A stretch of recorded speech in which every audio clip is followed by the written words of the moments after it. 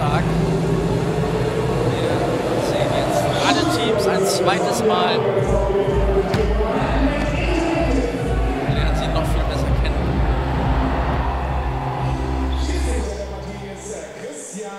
Wir sind gespannt auf die Entwicklung der einzelnen Mannschaften. Arminia Bielefeld gegen den Hamburger Sportverein. Fanfreundschaft bei den Großen und jetzt das Duell hier beim Freeway Cup. Anpfiff. Bielefeld in Blau von links nach rechts. Langer Ball jetzt und dann Latte. Schade.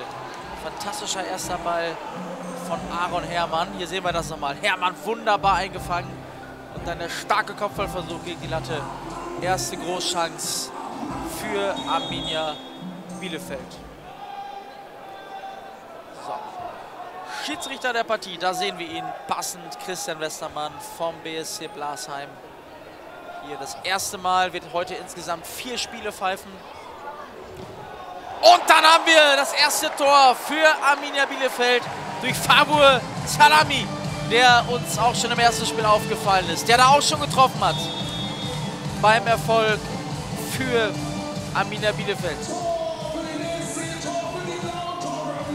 Im ersten Spiel gegen Union Berlin. Das spektakuläre 4 zu 3 war die Auftaktpartie der, des ganzen Turniers. So, Bielefeld jetzt schon wieder. Wie entfesselt nach vorne. Nächste Chance. Nächstes Tor. 2-0 Arminia.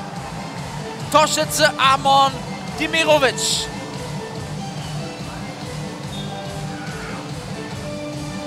Wunderbare Ballbehandlung ins lange Ecke geschoben. 2 zu 0. Arminia Bielefeld.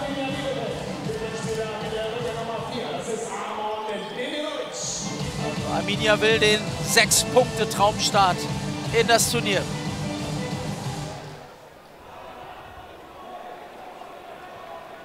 Hamburg ja mit einem 1 zu 1 gegen Schalke 04 im ersten Spiel des Tages für die Hamburger.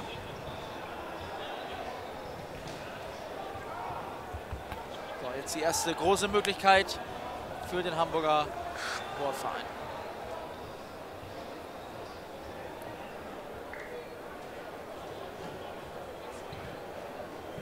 Spannende Kicker in ihren Reihen hatten, unter anderem Abdul Karim, Kulibali, den Kapitän der Hanseaten. Jetzt die Binde aber bei Riedel. Ballbesitz Arminia. Tanay Kosa. Top-Torschütze der U16 mit fünf Saisontreffern in der Landesliga. Die Armin dort Tabellendritter.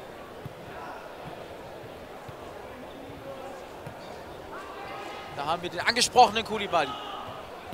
Gutes erstes Spiel gemacht. Tempolauf. Wieder stark von Lukas Dick.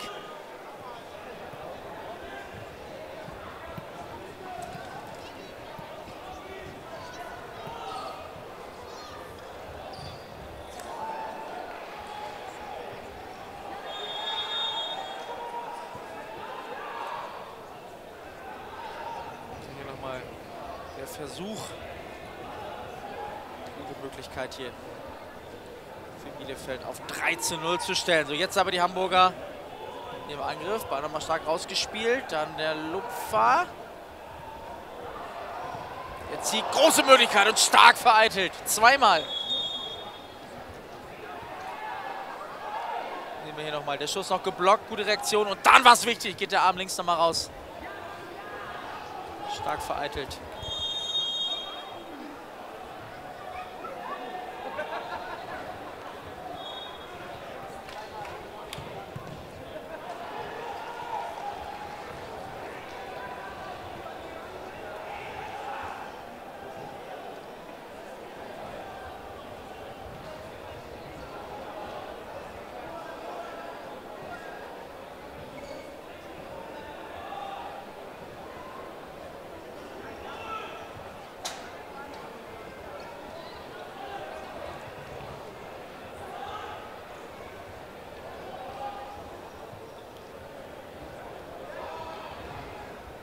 Schöne Kombination. Abschluss hier durch Jonas Finn Hartig. Das Duell an der Bande. Ja, genau, kann man fast schon unterbinden. Gut zu sehen hier gerade. Die Hand von Riedel auf der Bande. Genau das eben nicht erlaubt. So, starker erster Ball. Er hat auch im ersten Spiel schon getroffen und hat eine wunderbare Ballbehandlung. Stellt immer wieder den Körper stark rein. Majid. 22er bei Arminia Bielefeld. So. Hier gibt es ein kleines Privatduell. Kulibali gegen Majid.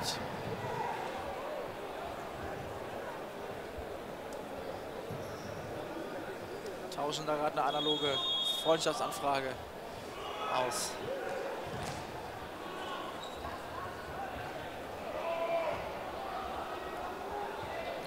Aaron Hermann, Tor der Bielefelder.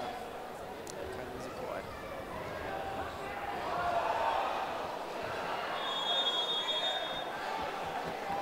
Freistoß für Arminia.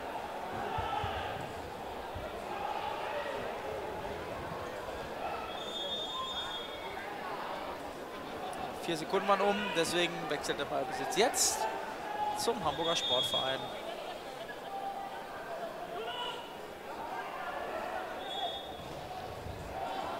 Parade wieder von Hermann. Freistoß schnell ausgeführt, einmal hochgeguckt. Abschluss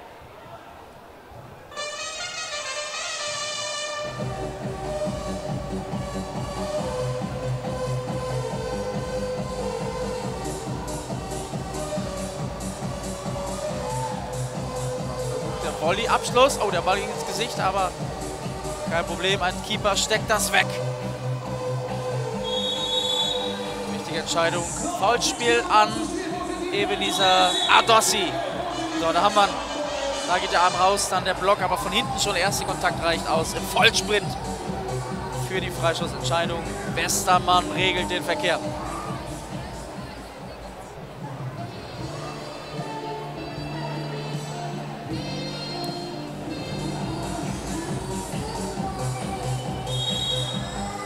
Musani. Den Ball zurück auf Adossi.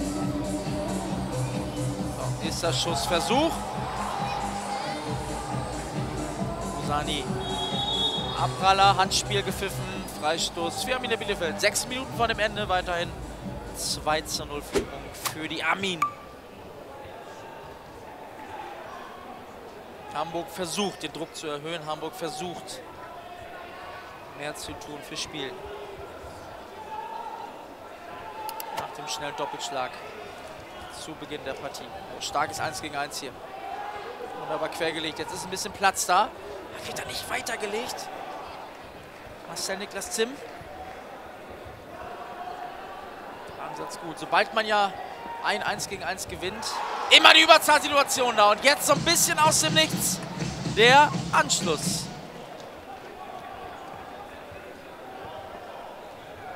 Für den Hamburger Sportverein. Torschütze war Henry Riebau. Die Nummer 9.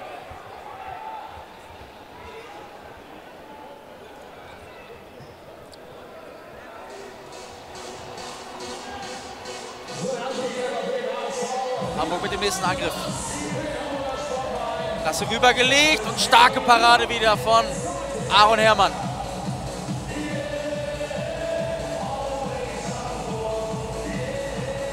Musik drin in der Partie. Ja, Yasin Rosani wieder mit dem nächsten Abschlussversuch. Auch einen starken ersten Eindruck gemacht im ersten Spiel. Klasse geklärt jetzt hier und jetzt die Situation. Cleveres Foul. Wichtig, sonst wäre es nämlich auch 2 gegen 1 gegangen von Favor Salami. Kurze Griff. Dann potenziell sehr gefährlichen Angriff auf jeden Fall vereitelt.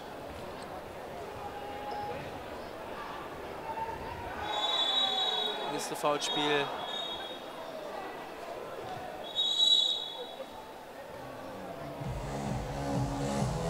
So mal Smalltalk mit Christian Westermann.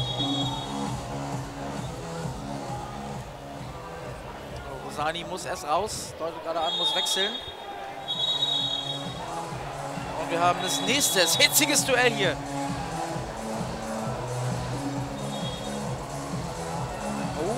ja. Zwei Minuten. Ebenezer Adossi. Ich glaube, die kann man geben.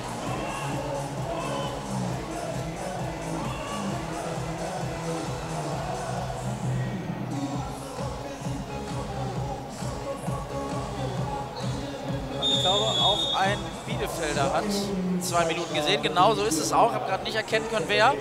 Wir haben also eine Menge Platz auf der Platte und die Riesenchance zum Ausgleich. Riesenmöglichkeit.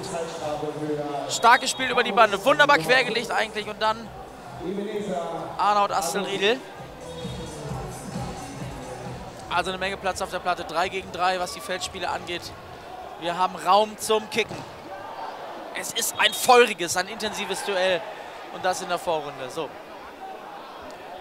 Ball war an der Decke. Ein Bielefelder zuletzt am Ball. Deswegen Ballbesitz für den Hamburger Sportverein.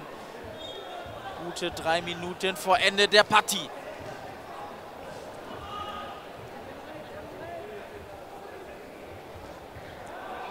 Gute Minute noch. Beide Teams mit einem Mann weniger. Kurz auch dazu Regelkunde. Trifft. Kassiert eine Mannschaft ein Tor. Darf aufgefüllt werden. Nächster Versuch über das Tor.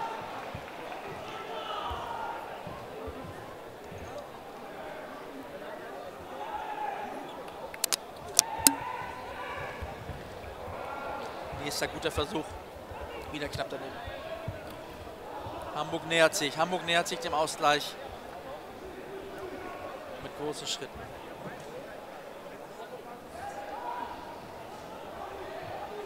Bielefeld kriegt kaum noch Entlastung. Kaum zu Angriffen. 20 Sekunden noch, dann dürfen beide Teams wieder auffüllen. Und dann haben wir kurz vorher den Ausgleich. Prince Kasi trifft. Eine Torschung reichte aus und am langen Eck wunderbar vollendet mit links.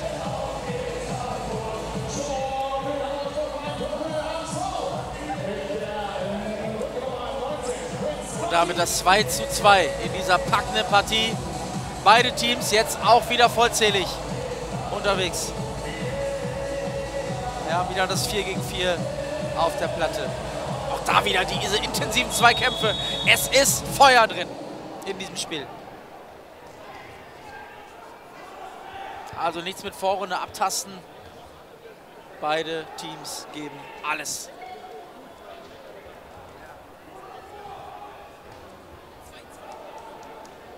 Gute Minute noch. Kein Problem für Aaron Herrmann. Kein Foulspiel, richtig gesehen von Westermann. Dann das Foul von hinten. Abdul Karim Kulibali kriegt zwei Minuten. Hier, ja, das waren einfach zwei Gewichtsklassen, die aufeinandertreffen. Dann das Einsteigen von hinten.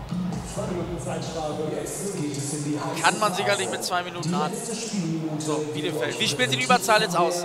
Wichtig, immer wieder zwei gegen eins Momente zu schaffen. Kommt sie zum Abschluss? Sie kommen zum Abschluss. Und sie kommen zum 3 zu 2. Glenn Gutmann trifft für Arminia.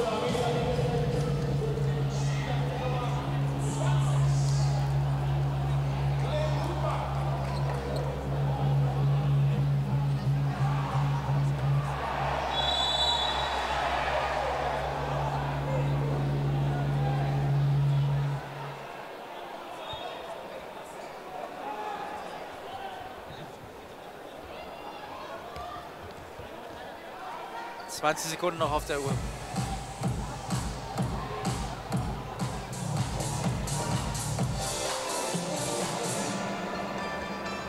Das wäre der Sechs-Punkte-Traumstart für Arminia Bielefeld. Wenn nicht jetzt der Ausgleich fällt und da braucht er zu lange.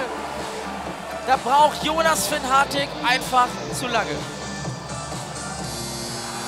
Und das war's. Arminia Bielefeld gewinnt mit 3 zu 2. Wir sind gleich mit der nächsten Partie zurück. Bis gleich.